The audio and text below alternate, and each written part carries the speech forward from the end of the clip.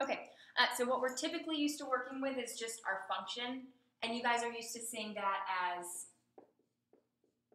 f of x. So for example, f of x is 2x plus 4. That's just a regular function. We know f of x is also y. So you could write this as y equals 2x plus 4. It's the same function. So f of x and y are basically the same thing. There's also something called an inverse function.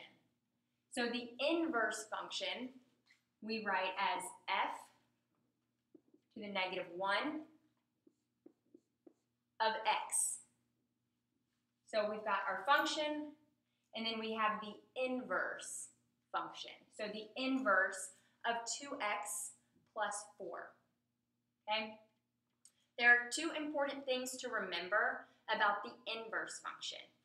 The first thing is that the x and the y values are just switched. So the x becomes the y, the y becomes the x.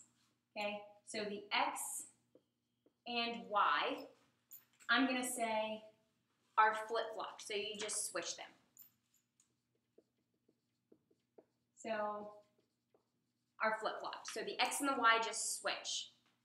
Second thing to remember about an inverse function is that the function and the inverse function are reflective. And they reflect over y equals x. So f of x and its inverse are going to reflect over y equals x. And we'll see that as an actual picture later on. I just want you guys to know that for now. Okay, so how do we find the inverse function? Well, I've got my f of x is 2x plus 4, which I also know is y equals 2x plus 4.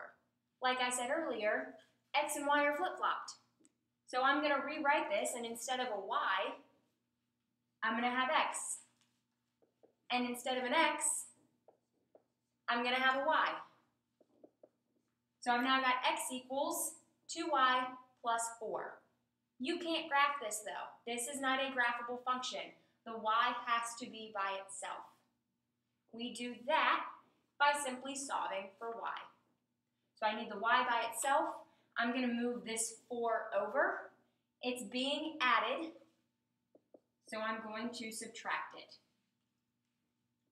Now I've gotten rid of that 4 on this side. I'm now left with x minus 4 equal to 2y. I'm almost done. I've got to get rid of this 2.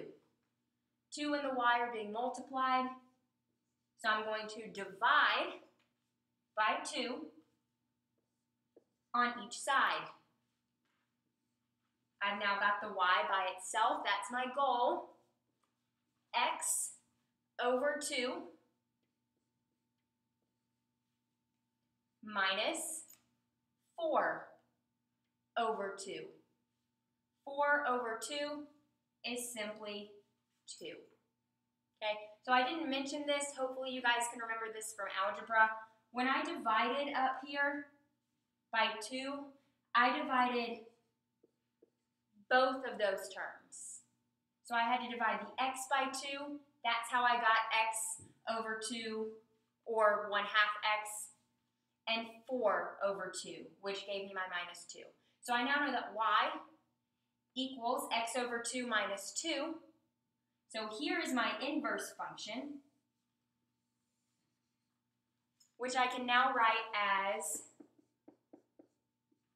the inverse of my function, or of f of x, is equal to x over 2 minus 2. So now I've got my original function and I have my inverse function. I switched the x and the y, and then I solved for the y to have something that I can graph.